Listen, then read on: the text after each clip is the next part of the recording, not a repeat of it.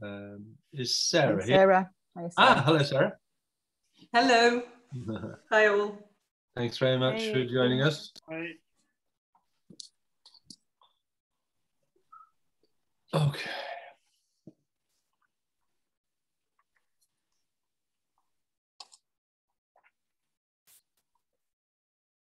Still more people joining us, Owen? Yeah, probably just give it another minute or two. So that last people get in. Okay, cool.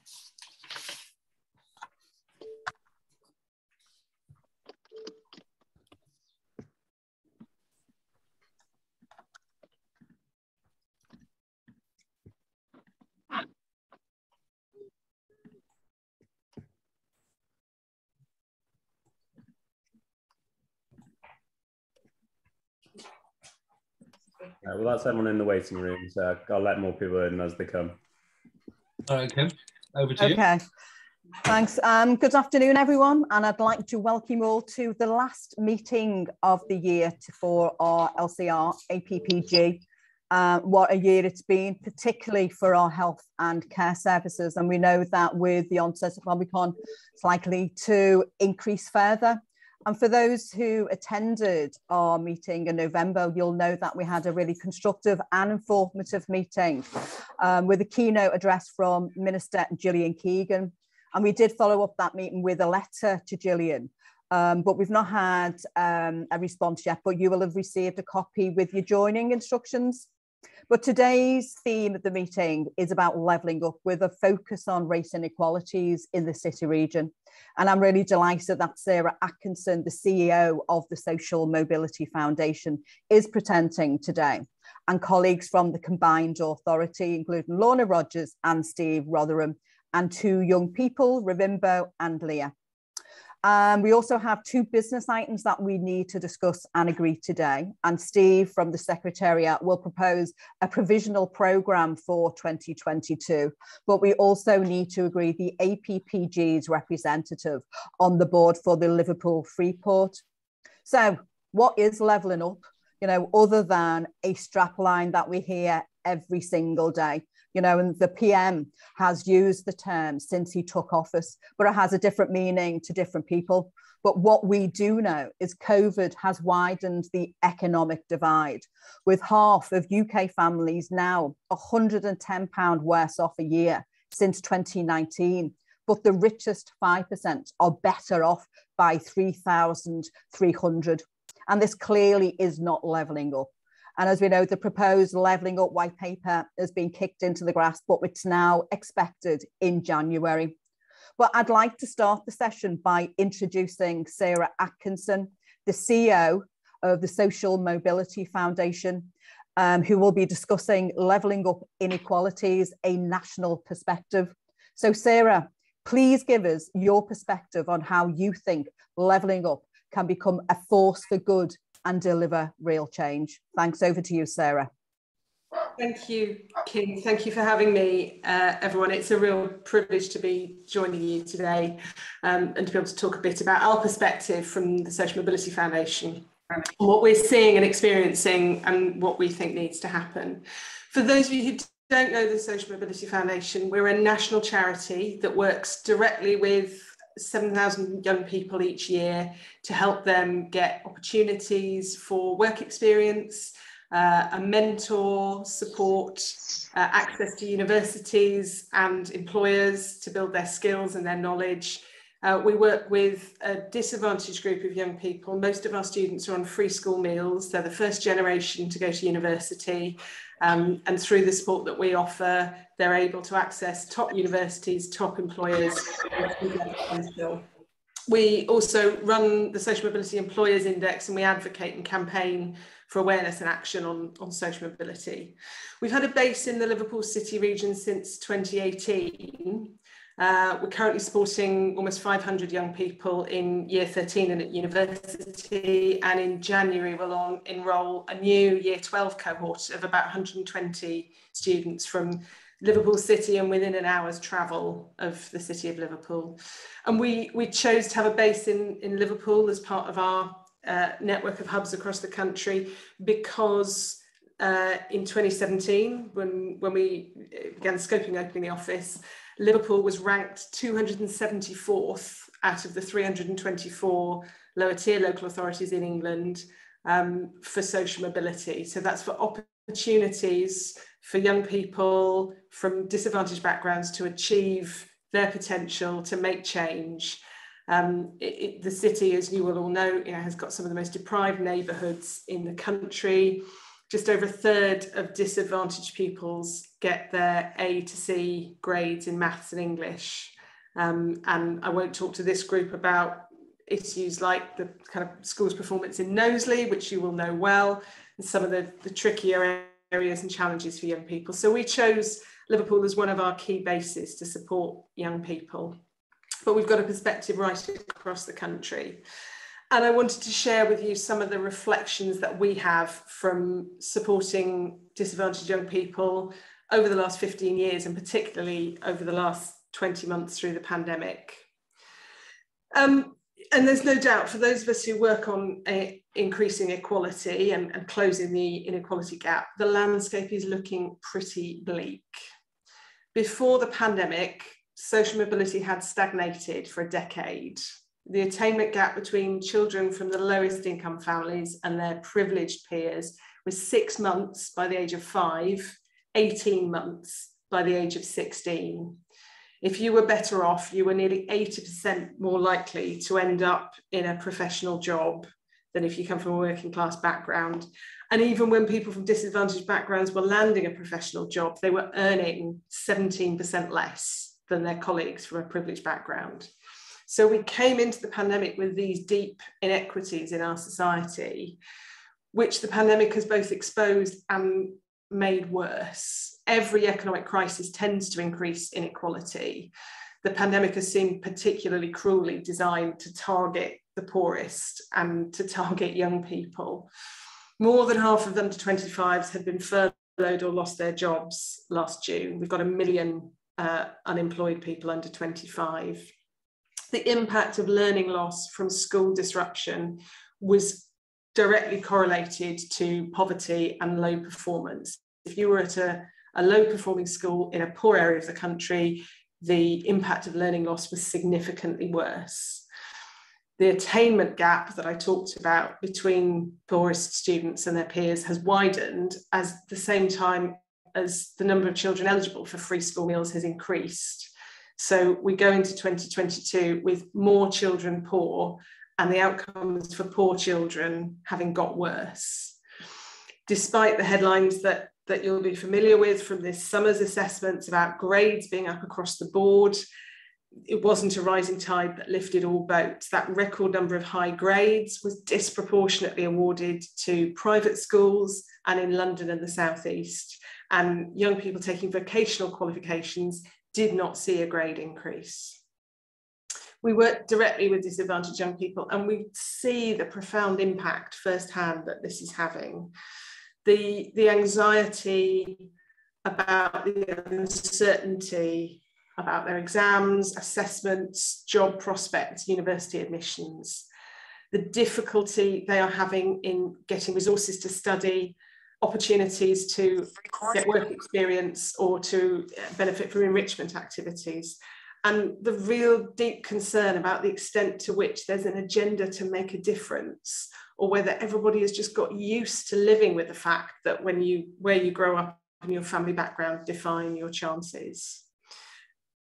There are some things that we see that are positive opportunities. Um, public awareness of this inequality has, has never been higher the social mobility commission which now sits in the cabinet office tracks public awareness and public expectations through an annual barometer. And it shows growing public awareness of the extent of inequality and growing public expectation that government and business needs to do something about it, that it's a government and business responsibility. We work directly with employers to influence them to take action, and, and we've seen some positive movement from the business community. We had a record 203 employers enter our social mobility index this year, uh, showing their willingness to, to benchmark their efforts and improve, and from a much broader range of sectors. Um, we even had Everton Football Club join the index this year. So I'm hoping the competitive spirit will mean we get Liverpool as well next year. Um, so we've been able to share some really good examples of employers who've created new resources for schools, increased their outreach and offered some really good routes into the employer for school leavers, for apprentices, as well as for graduates. Now, employers are acting on this partly because of that awareness of inequality, but it's they're also acting on it because it's very practical. They can see that at the moment, the education recovery plan from government is focused on academic basics and on tutoring. And this means that workplace skills, careers advice and opportunity, which was already inadequate in many schools before the pandemic because of lack of resources, is going to be even more squeezed. Charities like ours who are offering free quality opportunities, we can't get into schools because tutor time has been given over to academic catch up. So our free, brilliant program can't get to as all the young people who would benefit from it. So educators and employers have got to work together to bridge that gap and make sure that young people are, are developing the skills that business needs and they deserve to be able to achieve their potential. I know you're talking today about race inequality as well as social class inequality, and I did want to share a worry from our work that we're seeing that these are increasingly likely to be pitted against each other we already hear employers saying it's hard to make the case for worrying about social class disadvantage when there's so much work to do on race disadvantage. And we see an agenda that argues that support for black young people to achieve their education and career potential has to come at the expense of white working class young people as though it's a sort of zero sum game.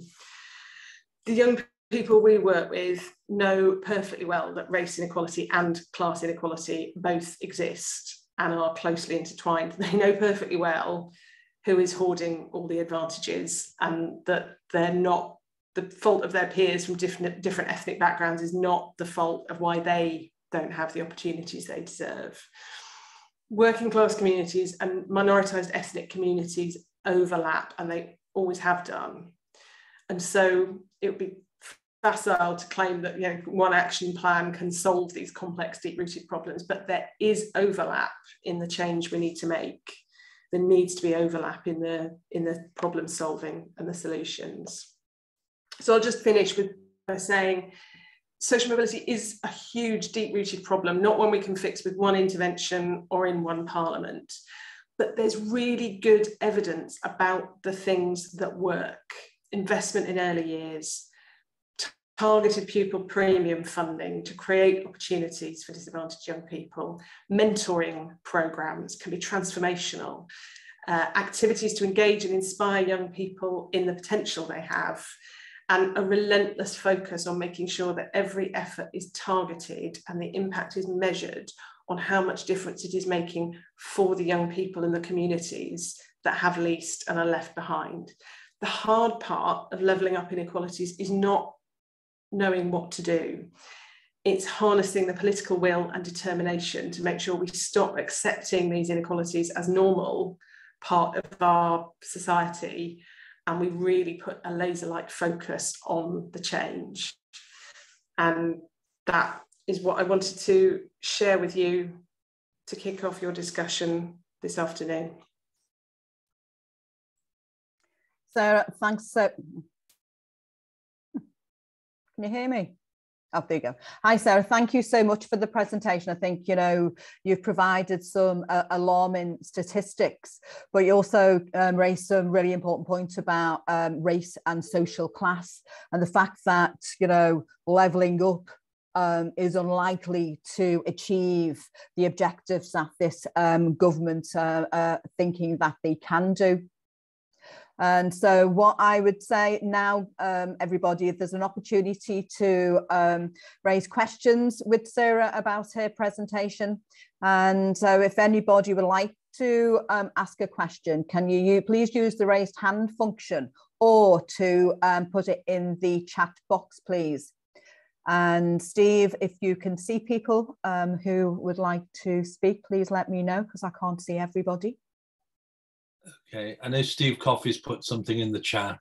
Hmm. Um, can't see any hands going up at the moment. Steve Coffey, then would you like to ask um, Sarah a question then, please?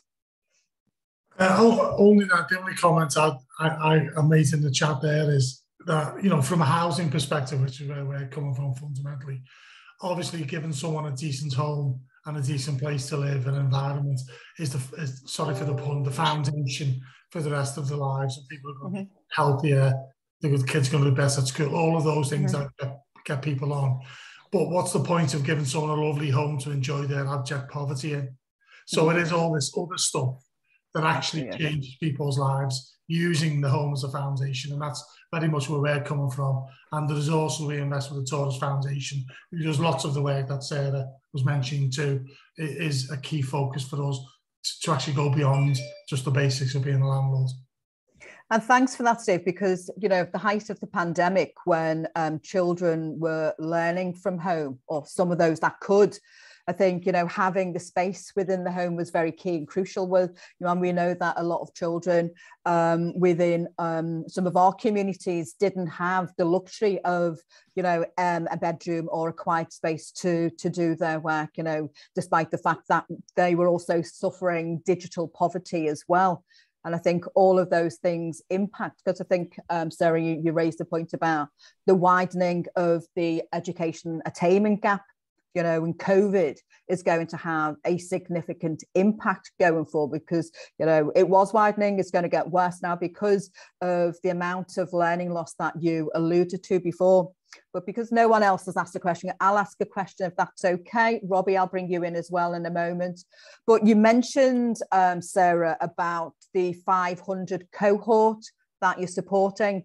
But I just wanted to know whether those young people that you support attract just to find out, you know, what happens to them beyond university. Because I think it's one thing, you know, going to university, but it's about, you know, um, what jobs they get in the job market, you know, what promotions and stuff. So but I'd be really interested for you to maybe respond to that, please, um, Sarah.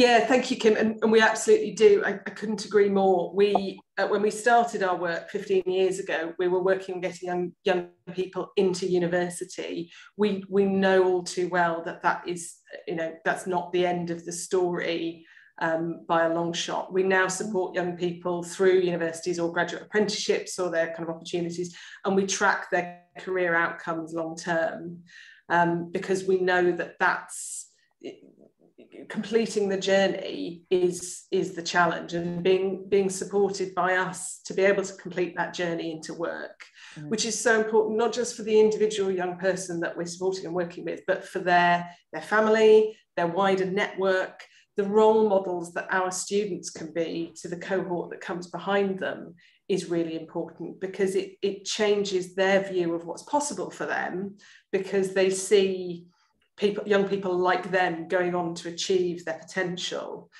Um, but the cohort impact is really important as well when it comes to the, the, the learning loss. You know, one of the most brutal things that's happened over the last couple of years is our students have seen have not been able to achieve what they're capable of because mm-hmm. of the, the, the resources and the mm-hmm. assessments challenge. Mm-hmm. And that's we we can see that damaging the the, the aspiration uh, and the enthusiasm of the cohort that comes behind them because they feel like it's just too hard mm-hmm. um, and that is heartbreaking to see and and so you're right kim to pick out you know some of the practical resources mm-hmm. to make it possible for young people we ask them to work so hard and do so much we have to give them the support to make it possible for them to keep being resilient Thank so you. That cohort impact is so important.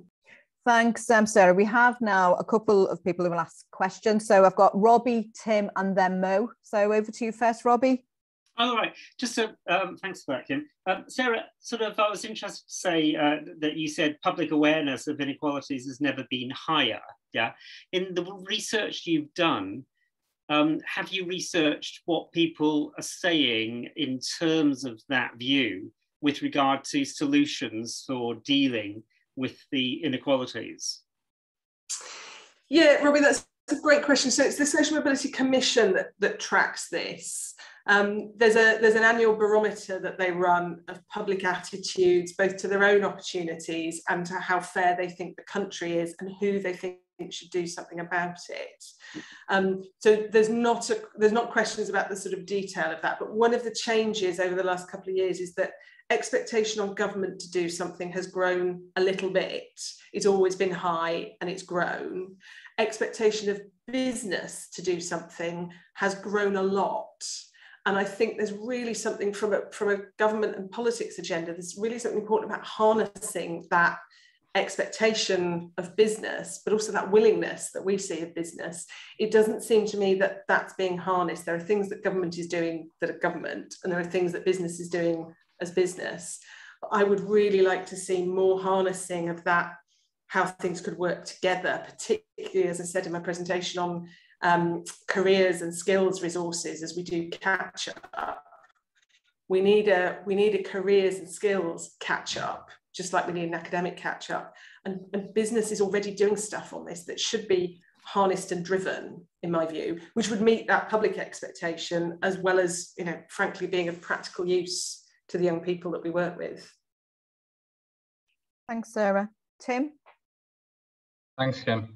Um, yeah, so I was just going to ask, um, related to young people, and obviously uh, in the pand pandemic, especially the, the access to certain certain young people from from uh, you know underprivileged backgrounds um, has been severely stretched, and uh, that's been exacerbated by you know understaffed and underfunded um, child services.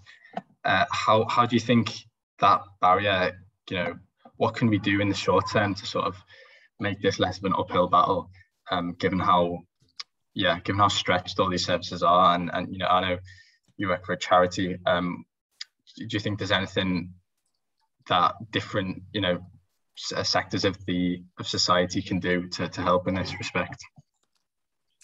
Yeah, I, it's really heartbreaking, Tim. I mean, I described the challenges we're having in, in getting our opportunities to the young people who we know need them and would benefit from them, but the, the pressure on capacity in schools is, is just, you know, it's downward and downward and downward. And that's the same experience that a lot of charities running all sorts of opportunities, sporting, music, enrichment activities of all kinds have found.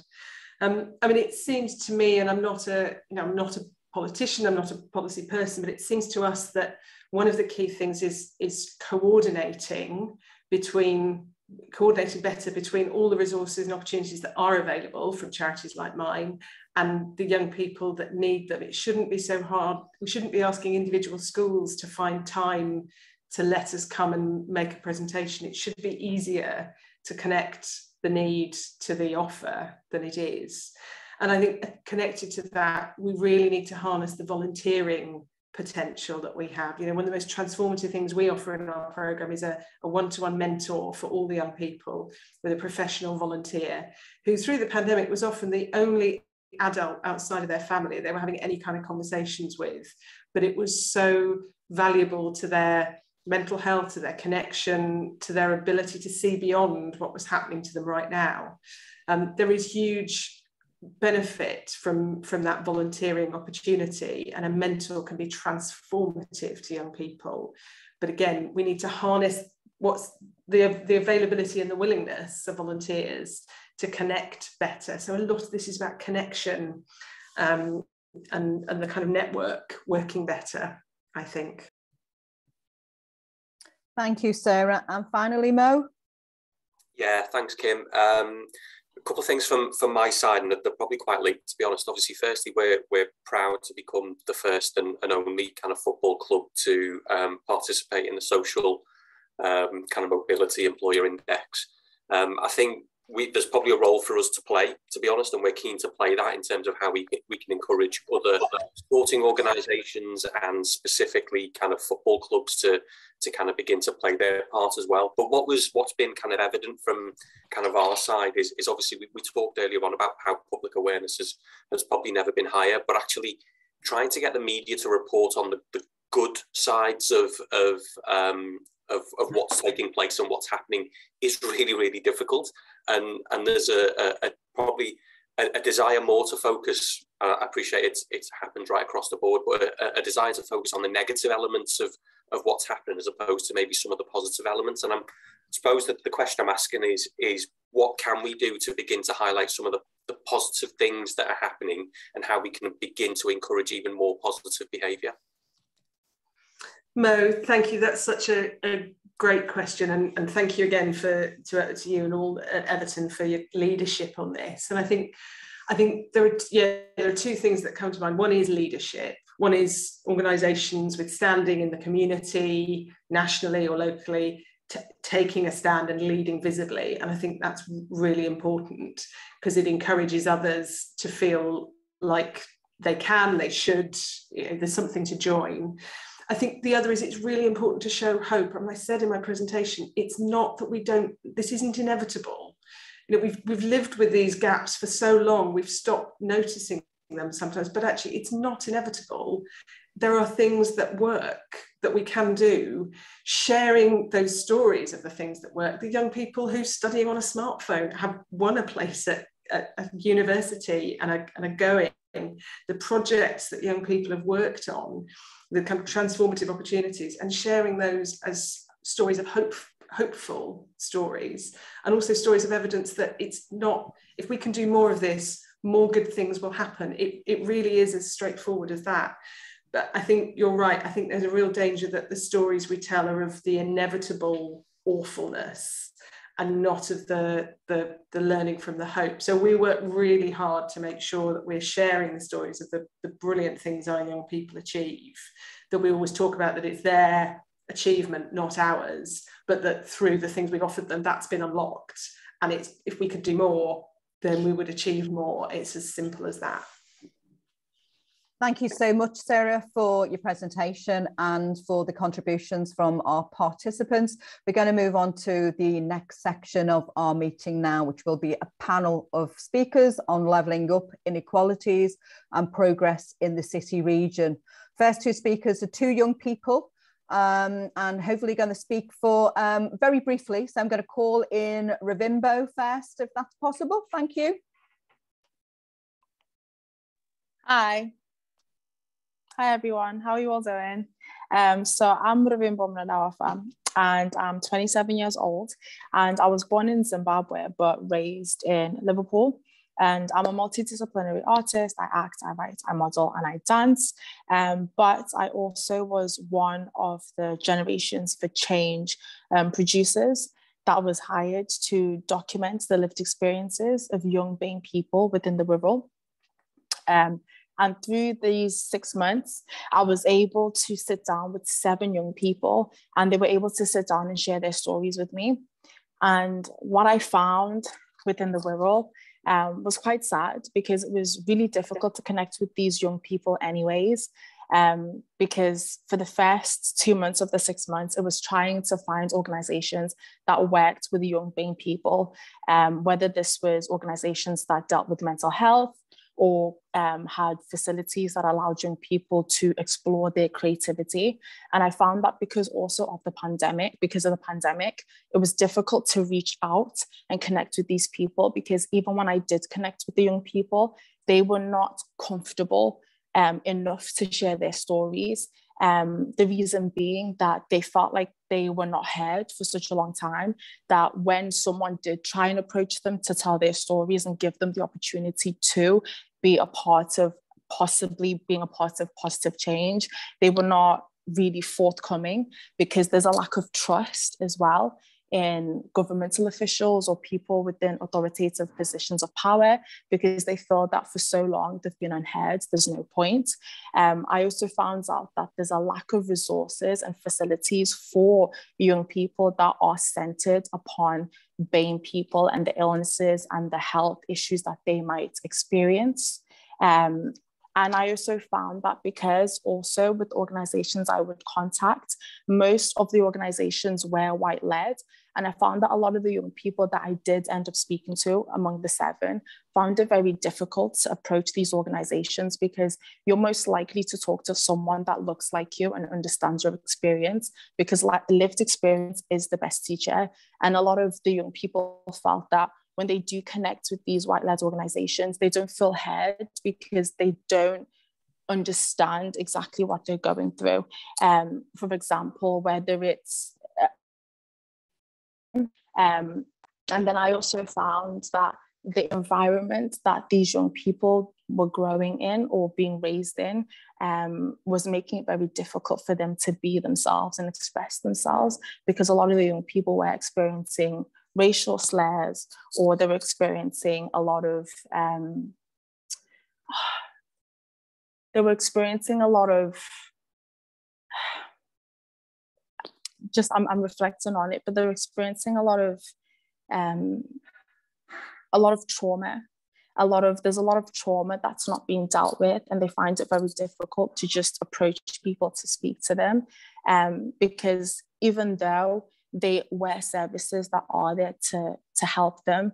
They just feel that their perspectives are not being taken seriously because they don't see that change happening quick enough. And i found that within the Wirral the areas that these children were raised in was quite deprived. The opportunities you might find in Liverpool, you can't find within the Wirral. Um, and lastly, I think one of the biggest takeaways was it takes a village to raise a child. And it's all about the mindset of the people that they are surrounded by. Because with simple things like whether it's someone not making or taking the time to learn your name or understand who you are, they felt as though because of that, they were not able to to function or completely progress in society. Um, so I think one of the takeaways that I found was that they wanted people to understand that it's our responsibility also as individuals to change our mindset and to open our minds in order to understand them so they can also believe in themselves. Vimba, can I just say thank you so much for um, sharing your experiences and identify some of the problems and the challenges faced by young Black people on the Wirral. And hopefully there are people on the call today can take that on board and start instigating some change. So thank you so much. Um, I'm going to call in now Leah, who is the chair of Halton Young Youth Cabinet. So um, Leah, please. Hi, thank you, Kim. Um, I'm Leah and I'm from Halton. Um, I'm currently 17 and doing my A levels. Um, and I can only echo um, the educational inequalities that we've heard and definitely the access to services um, issues that have been um, raised previously. Especially from race and so past point of view, hard and scrapped and split into um, funding um, pots um, to ensure that there was some services there. And that has obviously caused a really big issue within coordination of young people and being able to recover some of the groups that we used to have and especially some of the services interaction with schools who were already facing issues with you know some of the mental health um, problems that we're seeing we're seeing it described as a mental health epidemic and it's only been worsened um, by the pandemic um, and not having that extra support from the youth services within schools um, has definitely caused an extra bit of pressure. Um, I've previously worked with Youth Access who does a national campaign called Fund the Hubs that calls upon the government um, to fund hubs within a couple of mile radius of young people in every area of the country um, to allow for them to have access to some informal mental health services and this is something that I've definitely supported and have been you know enjoyed being a part of because a huge issue at the moment is is that lack of aspiration and also that um, lack of access to education sometimes because of the mental health issues that we're seeing at the moment. Um, a, a vast amount of bereavement um, to the point where either you know I've got friends at the moment who have um, been forced out of college because they were not able to deal with their mental health issues and therefore not able to continue on their education and therefore have been pushed back and unable to attain what they're capable of attaining, um, which is a big problem. I think that um, a lot of the, the youth service um, is a bit mismatch across the areas. And I think that we could really benefit um, from youth provisions being guaranteed in all areas um, because I think every area should have a youth service of a good standard to allow because I agree with what um, you know was previously said. It takes a, vis- a village to raise a child, and I think that you if you don't have that community aspect, um, it's going to feel really isolating, especially when you're in marginalised groups. Um, to to also you know just you know generally, but also education. That's a massive problem. Um, and I think that would definitely improve young people's lives if they had that. But I also think just previous going on to the previous point about a lot of the foundation into universities, into apprenticeships is a lot of it is targeted at people who gained all seven separated within colleges um, and that often leaves a lot of young people that are you know really capable of um, you know much better things um, that are not um, sort of I guess a big issue over the past two years. Um, and I think that a lot more programs to work with young people as a whole rather than full. And I guess that's been my key takeaways from some of the inequalities that I've seen. Thank you so much, Leah. And sadly, you um, you kept on cutting out a bit through through that um, um, discussion. Sadly, but you, you you did raise some really important points about the impact of COVID on mental health and the fact that services are um, not as available as, as they should be, and the fact that mental health services have crumbled um, under the last 20 months. And I think, you know, again, we need to be looking at how um, young people are supported better in terms of um, those services. So thank you again for your contribution.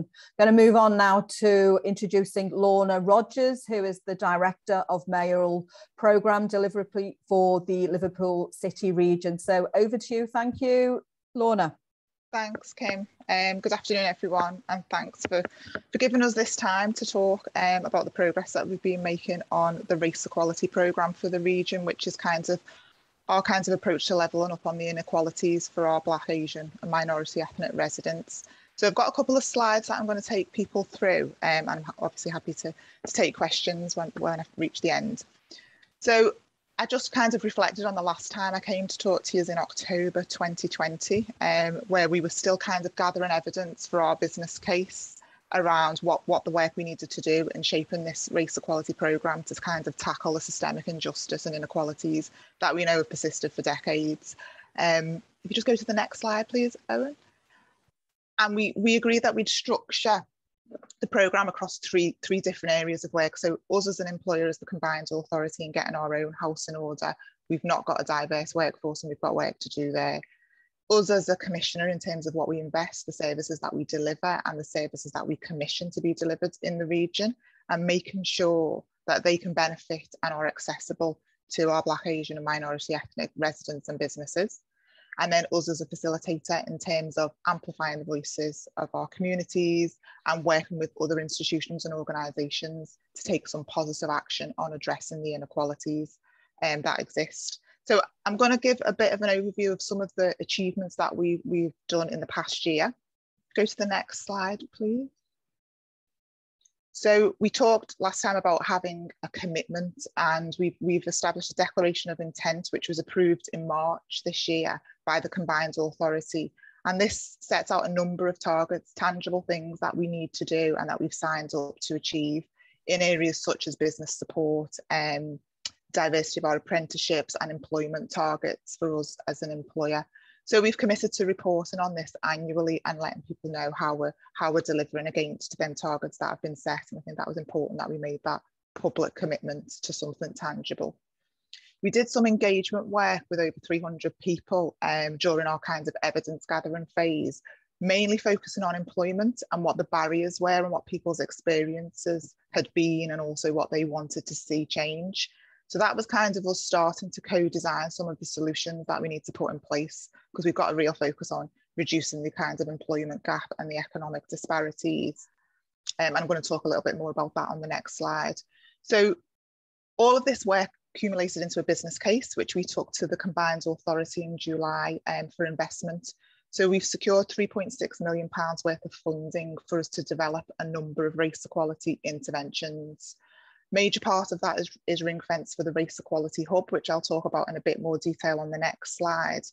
Um, but there's also things such as training for our local authority staff. So all 22,000 staff in the region will get racial literacy training as part of this investment. Um, we've also invested in the Generations for Change, and you heard Ruvimbo's story, and you know they did some excellent work on, on amplifying the voices of their peers I think it's really important that we get this feedback from young people because it's their future and they need to be part of creating these solutions. So, you know, we, we had six young people for six months um, going out and finding out this feedback, and that will be hopefully informing the work that we need to do and shaping the solutions going forward. So thanks for Ruvimbo for joining us today as well and sharing her, her story. We've also um, agreed to participate in a national art education programme called The World Reimagined. So people may remember the Superlambananas of 2008. Um, it's a similar model where we will have, we'll see globe structures across the city region, um, which are all part of an education programme to kind of engage with local schools, communities and artists. And the purpose of it is to kind of to kind of talk talk about the story of the enslavement period, but also before what happened, um, before you know African people were enslaved, and to tell them hidden histories, and also come right up to the living day in terms of the legacy and impacts of slavery. So this is going to be a kind of a live outdoor trail starting in August next year through to October, covers the whole of the city region and the seven other cities across the country that are taking part in this. So, you know, really excited by it. I think it's a real creative way of us telling a story um, and engaging with people on this subject, which is really important. We also worked with the Kuumba Imani Millennium Centre on doing some action research around business support. So the Near Black Business Hub did some work with Black and Asian and minority ethnic businesses. And what they uncovered was that there is significant demand for support that's untapped. People don't know where to go to access this support there's a mistrust out there. So there's definitely a need for us to do some further work. We've got a report with a number of recommendations that we're reviewing at the moment and that will be taken forward. And um, we've continued to support the staff network. So the RISE staff network is for Black, Asian, minority ethnic staff in all the local authorities in the region and the combined authority. They continue to meet and they really have a focus on looking at progression and leadership and representation in their organisation. So we're supporting them with taking that work forward. 20 of them um, went on a, a, pilot programme that John Moores did, a, a, leadership programme, which was really positive and we got really good feedback. So, you know, the, the scope for us to do more of that. And the business support working group that's been established by the local enterprise partnership is looking at what the barriers are for Black, Asian, minority, ethnic businesses. They've just done a refresh of that group. They've got more businesses on there, more representatives, and an independent chairperson to take forward that work. they will be working very closely with them and looking at what comes out that needs to be taken forward. And National Museums Liverpool have appointed the designers um, for the capital work on the International Slavery Museum. They're going to be transforming the entrance to the museum and we've supported them with that work, so that's going forward as well. Next slide, please. The hub, which is the main kind of part of the investments that we went to the combined authority with this year, is where we think we're going to get real kind of real change and real traction on reducing some of these inequalities um, that persist. I think what we found during the evidence gathering phase is that there'd been fragmented delivery of services, short-term funding, kinds of short-term interventions, and services that were duplicating or competing with each other. So we want to bring it together and have a strategic coordinated approach to this and have a central focused area where we can offer employment, business support, skills development and have that single point of reference. Um, we envisage that the hub will be an independent entity that will be established. It will commission and also deliver some services in-house. Um, and I think some of the service it could deliver could be things like pre-recruitment support for individuals, support for businesses, um, support for organisations who want to diversify their workforces. Um, we need to focus on governance and leadership training so that we can get more representation um, on decision making bodies. And I think also support with procurement and contract readiness for having more diverse supply chains. So I think there's a number of things that, that we think the hub could deliver, but we want to get um, a range of, of views on that. So we're appointing an independent panel and um, we've just been out to recruit board members who are going to come in and support us with the co-design and developing a business plan of how the hub will operate. I think we also want to make sure that we can test and learn and we can adapt. It may not always get it right first time. So I think, you know, being able to be flexible and try things out and doing a number of pilots to see what works is important. So we're hoping to start that in the new year, piloting a few areas and not being afraid to change if, if that doesn't work. Um, I think the next slide, please. I think as part of the business case, we've obviously looked at what we think the potential impact of, of, of the interventions that we're trying to put in place um, are going to have. And overall, it's you know it's quite high. I think it's it's suggesting that you know if we get all of these interventions right, and if we close that employment gap in our city region, which is around 15% at the moment, um, we will achieve some some really good outcomes. I think the training that we want to do will increase racial literacy across the city region. Um, and it could have a significant economic output um, estimated at around 300 million back into our economy every year if we close that employment gap, as well as, as giving better career opportunities for our, our Black, Asian, minority ethnic residents and having more diverse workforces. So that, that's kind of the longer term goal of what we're trying to achieve with this, but we're, we're kind of still in that mobilisation phase, I think it's fair to say. Next slide, please. So kind of the next steps in January, the things that we're focusing on in terms of the racial literacy training, um, we will be going out to procure some training providers to work with our staff networks to design what that course will look like. Um, in terms of the development board, we will be announcing in January who them independent advisors are and start that co-design with communities and co-development um, of the business plan and start piloting some activities. The World Reimagined, the arts project, will be going into schools in the new year. Um, a number of schools have already put themselves forward to participate in this across the region. And we'll be working with community partners as well. And there's lots of local engagement as well to make sure that we tell our story in a way that we want to reflect the city region. And we're continuing to do work internally as an employer. We've got a number of things that we've done to try and increase um, the diversity of our workforce some basic things like where we advertise our, our vacancies. We've introduced the Rooney rule for our senior level appointments to make sure we have a diverse short list. Um, we've introduced the, a guaranteed interview scheme for, for Black, Asian, minority ethnic applicants like we do for disabled um, applicants. And we're looking at getting more diverse recruitment panels set up as well going forward next year. So we've still got, we're still a way off that target um, and we know we've, we've got to do a lot more to diversify as a workforce. I think I'll leave it there. I'm happy to take any questions.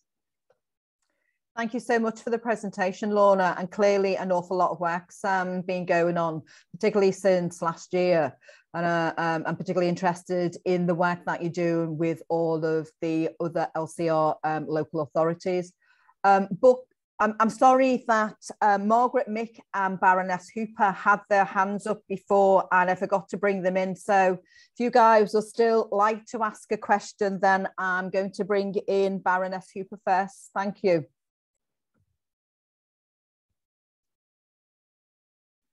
Oh my goodness, uh, uh, thank you. Um, uh, it was um, uh, really in relation to what Sarah Atkinson had, had been talking about. And I wanted um, uh, in fact, my two questions were really covered uh, subsequently, but uh, I, wanted to agree fully about the need to coordinate um, uh, work which is going on, uh, and particularly uh, in the voluntary sector and, and, the encouragement of, of volunteers. And I, I also wanted to congratulate Mo because the whole issue of sport for young people is so important. and the fact that Everton is doing this work uh, is giving a lead to other uh, organizations that could do something similar. Uh, I, I, did have a slight question uh, about um, apprenticeships and opportunities for apprenticeships in the region, which all ties in with the um, um, what's going on in, in terms of job opportunities and skills and so on. Um, but in, in a sense, uh, I, I think those issues have been covered. So I wanted just to underline my agreement with those, those particular parts. Uh, and, and to say now to Lorna, uh, who's just spoken, I, I, think that's the most fantastic program. Uh, and, and I do uh, hope um, that even if a few of the, the, those aims and projects come to fruition, um, that, will cause an, an enormous uh, uh, improvement. So thanks to um, Ruvimbo and Leah as well uh, for what they've said. Um, but um, I think the whole idea of coordinating what's going on is, is um, key to, to getting a more comprehensive uh, uh, solution to all these things, which are all so intertwined anyway. Thank you. Thank you, Baroness Hooper. Can um, Mick and Margaret um, raise their questions and then I'll get Sarah to respond to both of you. Thank you. Mick? Thanks, Chair. I'd just like to uh, go back to uh, Ruvimbo when she was talking about the lack of support uh, and the levelling up and uh, education and for BAME people. Uh, well, just a question I'd ask is, who did she speak to? What organisations did she uh, contact? And uh, would it be worthwhile sitting down with myself uh, to have a conversation? Because I'm, I'm really interested in that, you know. Yeah, that would be amazing to do. I think the organizations I was then able to contact, um, where there were quite a, lot of organizations I did contact within the Wirral, but the ones that managed to get back to me were Wirral Change and Rural Dean Centre. So I was able to sit down with them um, because they are being led, but they also do um, just work with everyone within the, the Wirral. So it would be great. Yeah, we, it would be wonderful to have that conversation with you. I think also because of the pandemic, it was really difficult for people to get back to me um, as well. So yeah, that'd be good. Yes, Remember. And Margaret Brock Thanks very much, um, Kim, and thank you to all of the speakers. Apologies, I was late arriving, so Sarah, I do apologise because I missed the beginning of, of your your speech. I think it's very impressive, you know, what's being set out here, and it, it raises all sorts of excitement around, you know, how change can be arrived at. I have um, a particular interest in particularly well in education because I used to be a teacher both in schools but also in adult skills in what was known as basic skills then we call them essential skills now. And I think um, you know anything that I, would be interested whether there's any um, component around supporting people in in terms of having the opportunity to improve their skill sets from that level. Particularly literacy is a is a huge problem across the country. Um, and it, you know I used to be an adult literacy teacher and you know, it's about creating opportunities in situations where people won't feel threatened at all and where barriers are removed to people's engagement in learning. So I just wondered if there was anything, maybe Lorna would have something to say about, you know, what's happening with that. And I was also interested in the Race Equality Hub, whether that's going to be physically located in one place or whether it will kind of have a presence physically elsewhere, because I think the point that was made um, about, I think Leah made the point about um, things being within two miles of people. I think it's incredibly important that pe- things are physically accessible um, because public transport's expensive. And also, when you're talking about levelling up and wanting to, you know, help people improve their opportunity, um, having things close to home make it so much more easy for people and particularly for women actually because women bear the majority of the child um, raising responsibilities and very often they're trying to juggle and fit things around what they can do so if you've got things in your community where you can pop down even if it was I'm, I'm preempting what your answer is going to be but if there's a hub somewhere if there could be outreach opportunities so that you know it would be physically present so in my constituency we have a place called the Hull Road Hub, and we have one called the Carbridge Centre, sort of community venues. If there was an opportunity for there to be a presence there, obviously I haven't asked them about this because I'm just thinking about it, but you know, just making it physically accessible to people, I think it's really important also because not everyone has the internet as well. Thank you. Thank you, Margaret. Could I ask both um, Lorna and Sarah to keep their responses quite succinct, if that's possible, please? Thank you. Of course, yeah, I'll, I'll go first and just very briefly on apprenticeships. I think uh, it's a good example of what I talked about with the targeting apprenticeships can be brilliant for social mobility and for disadvantaged people, but they won't be, and they aren't, without targeting and really measuring. At the moment, the best quality apprenticeships are going to the more privileged people because they understand how to navigate and access and succeed in them. So we've got to be really ruthless about having eyes on whether things are working for dis tackling disadvantage and inequality rather than assuming that they will do because they can. Um, that was all I was going to say on those. I'll leave the, the others to others. Thanks, Sarah. Lorna? Yes, thank you. I mean, just to add to the apprenticeships question as well, I think we know that the, they're underrepresented. We're not getting, uh, you know, enough Black and Asian minority apprentices. So we think there's a wrapper of support that we need to put around that. And I think it comes back to Sarah's point on careers advice as well and support kind of in school. So there's lots of work to be done on that. And we're expecting the hub to be able to help with that to come back to the physical kind of location, yes, it will be a physical place. And I think you, you kind of preempted the answer in, in the sense of we think it'll be a hub and spoke. So we think there'll be, you know, probably a centralized location, but we would definitely need them outreach locations as well. So it's across the region and, and it's accessible to all. So, so that model hasn't been completely agreed on yet, but that's what we're thinking it's going to result in. Thanks for your questions and responses, everybody. I'm going to hand over to Steve Rotheram now. So, Steve, you've got about eight minutes. Thank you. Hopefully, I don't need eight minutes, uh, Chair, but uh, uh, we can free up some time. Just to, to say, um, we do a lot of these, don't we? You know, all, all the politicians on the call, we do a lot of these. And yet, I have to say, those two contributions by uh, Ruvimbo and Leah are probably some of the most energetic and passionate and well thought through contributions um, that I've heard in a long time. And I thought I had some energy, but I'd like to harness uh, Ruvimbo's energy and, and we could do an awful lot more. Look, what, what we obviously are trying to do here and, and, and working with um, the likes of Lorna Rogers is an absolute pleasure.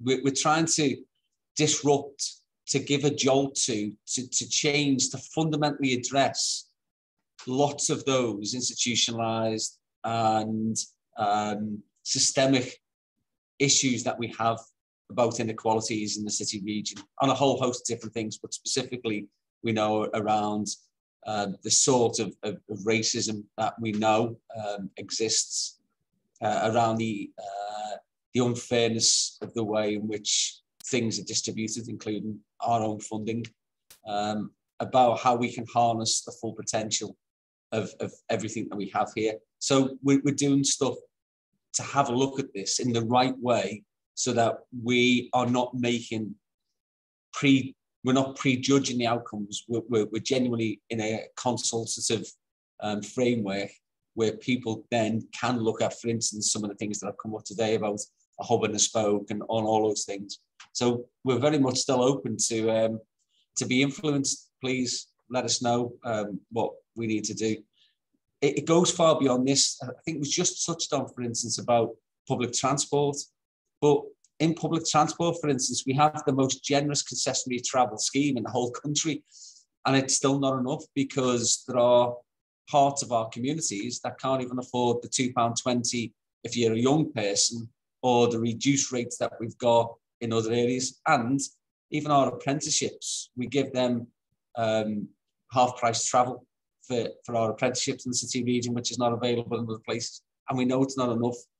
But if it's all about levelling up, then we need to level up in our own city region, as well as trying to encourage central governments to genuinely level up the country. Now, I, I agree with you, Chair. Um, it's a soundbite, isn't it? It's not really happening. We've seen it a million times. We've seen the way in which announcements are made.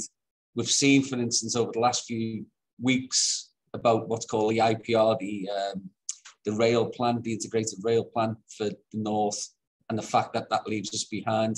So there's so many aspects of this that we haven't touched on, but perhaps in the future, Chair, you might want to come back and, and we can debate some of those individual issues. Thank you so much, um, Steve. Well, that kind of maybe um, is a good segue in because Steve um, Barwick will be talking about proposed um, programme for 2022 shortly. But I just wanted to ask if anybody had any questions before we move on to Steve's um, Barwick's presentation.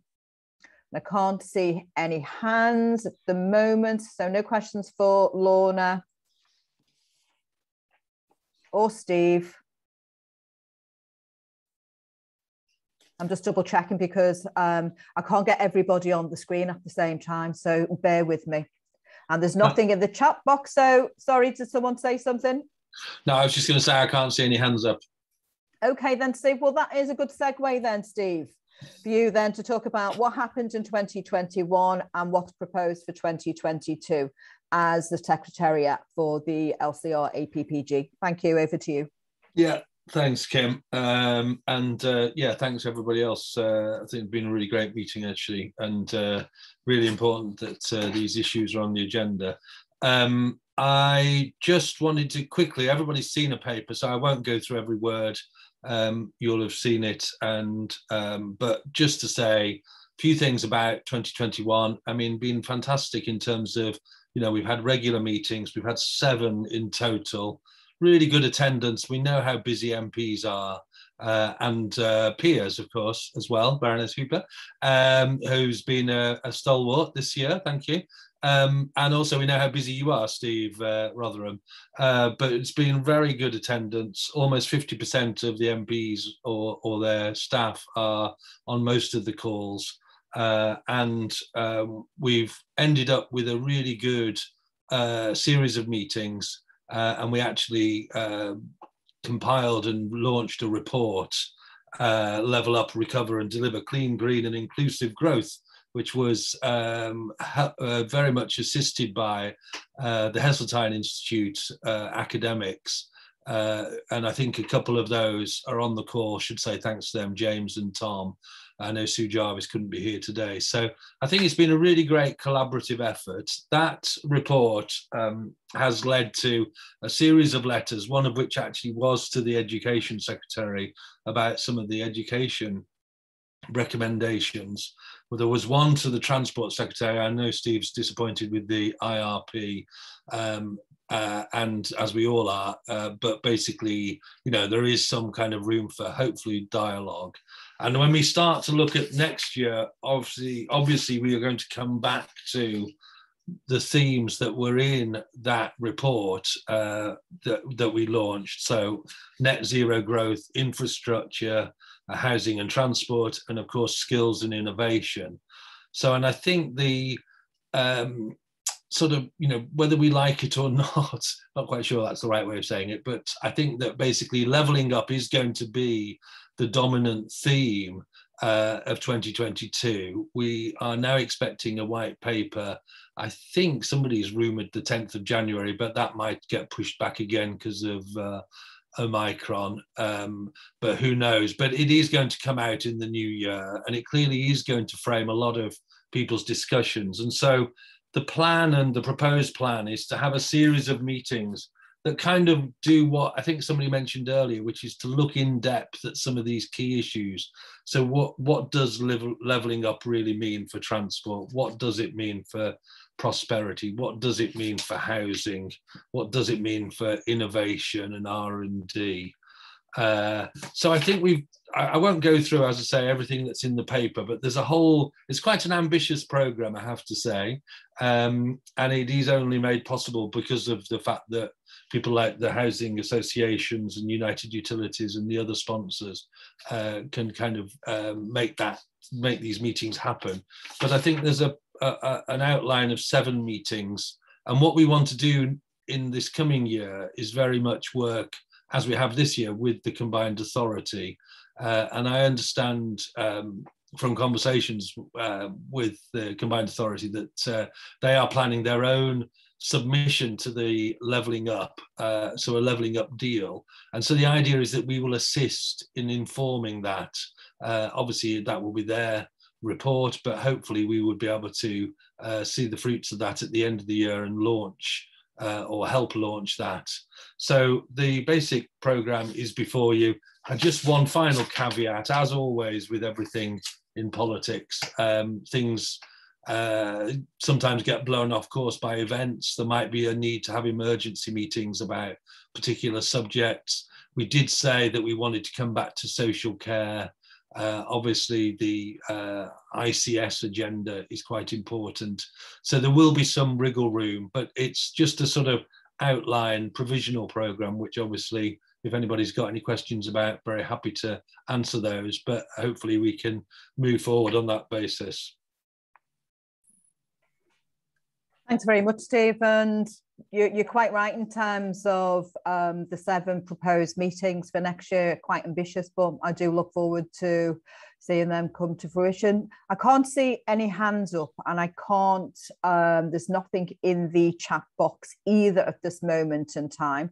So that just leaves me to ask participant, participants if people are happy to agree um, provisionally the programme in principle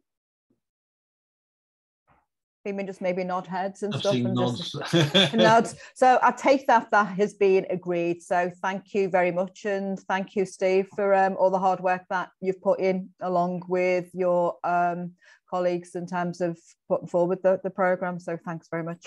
Yep, thank you. Good. Okay. Okay.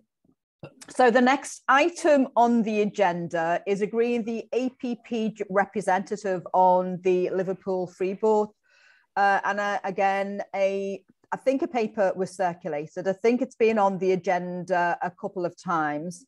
And, and I think what has been discussed is that both Mick Whitley and myself will um, job share the, the post on the board, but we'll just have um, one vote. And if people are happy for us to um, to agree that, that then that will be um, what we'll go ahead with. So if anybody has any comments on any of the information that's been circulated previously about the Freeport, please put your hand up or put something in the chat box.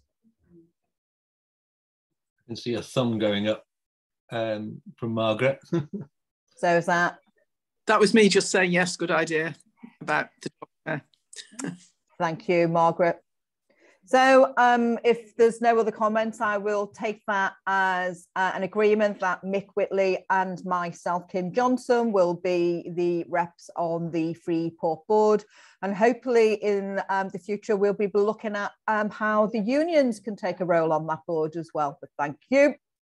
But um, we've come to the end of, no, we haven't. I was going to say we've come to the end of the agenda, but we haven't, you know. But um, so I would like to ask each of our contributors um, what they think the sh- government should do to truly level up inequalities in the city region. So I'm going to start in the order in which we had the speakers. So I'm going to ask Sarah first you know, as briefly as possible, what you think the government should do to truly level up inequalities in our city region. Thank you, Sarah. I'd put two things on my wish list. The first is extending pupil premium to 16 to 18 year olds to make a difference to keep young people supported in education and opportunities. The second is I'd love to see the benefits of a mentoring program that we know our students benefit from rolled out across the city region. That a mentor can be transformative for young people, whether they're struggling to stay in education and training at all, or whether they've got the potential to really achieve in education, a mentor can be transformative. So I'd love to see a national program of mentoring. And I think Liverpool will be a fantastic place at that. Thanks very much, Sarah. I might put those um, suggestions forward to the House of Commons Education Select Committee. Thank you. And um, what do you think this government needs to do? I think this government needs to focus on. I know it's difficult to change the educational educational curriculum within you know a short amount of time. But i think you really need to look into investing in people that can come into schools and teach young people about the history and culture. Because like i said it takes a village to raise a child. And what young people are learning in school is what they carry on to adulthood. So if there's ignorance that's being taught because of what's in the curriculum they're going to carry that on into adulthood. So i would really focus on investing in freelancers or people that can come in and teach young people about african history asian history but the, the real history not the history that's been colonized, but decolonizing the history.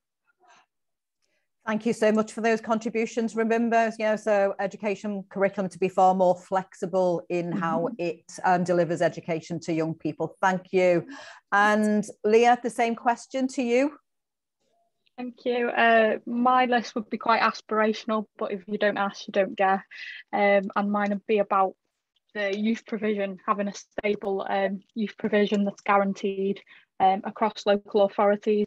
Um, I think a better mental health system that's more youth led um, and shaped um, and functions a bit better to the needs of young people. And then I think finally, sort of linking into what's been said um, about having space planned on the curriculum for those types of things, for those life skills, for those decolonised curriculum, sort of things like that that really help you know, to shape culturally um, and achieve sort of what we want to achieve um, in addressing inequalities. Thank you so much, Leah. And I'd just like to reiterate what Steve said about the contributions to from the two young people in today's meeting. I think it's really important that we as um, politicians and practitioners hear directly from young people, you know, the issues that affect them on a day-to-day basis, you know, so it's really important. Thank you, um, Leah. And Lorna, the same question to you, please. Thank you. Um, I suppose building on what other people have said, i w- I'd like to see investment into people, into education, health, skills, um, all of that needs more investment. And I think empowering local communities to come up with local solutions because it can't be a one size fits all. We've all got different challenges um, across the country. And I think also we need to be incentivizing large corporations to locate in our region as well. So we're creating good quality jobs for our, our young people. Thank you so much, Lorna. And yeah, wish list, great. Don't ask, don't get. And um, Steve Rotheram.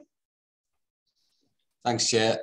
Um, I'll go back to what was said earlier about skills. I, I, think skills is probably the most important issue. So if we could get some apprenticeship levy funding devolved to the Liverpool City region, we can give hope to our young people. But on a, a sort of more macro level, I was with the German um, ambassador the other day uh, who came over for the G7 and he could not believe that we have to go into competitive rounds for every pot of funding that we eventually hopefully access. So to have some core funding from central government so that we don't have to go the charade, through the charade of a beauty contest every time they announce a pot of money, that would be my big ask. Thank you, Steve. And as we know, we're not playing on a level playing field when it comes to um, the competitive um, process either, are we? Steve Barwick, I'm going to put you on the spot now and ask you the same question. Thank you. On the levelling up? Yes.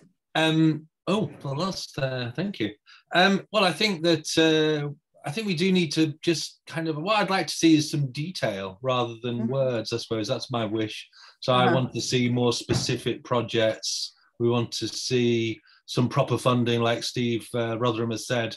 It needs to be devolved so that actually uh, the combined authority can get on with doing the job that it's really there and capable of doing, which is sorting out and really progressing these issues rather than having to spend a tremendous amount of time uh, liaising with government or uh, you know and reporting back etc etc so i think that's it. I'm, I'm concerned that the leveling up white paper is saying that it's not going to come with any extra funding at all. There have been rumors to that effect. So yeah we need to see detail. We want specifics and um, we need to actually be able to get on with the job in 2022 to really make a bit of a difference. So yeah that'd be my answer Thank you for your contribution, Steve. And yes, actions do speak louder than words, don't they?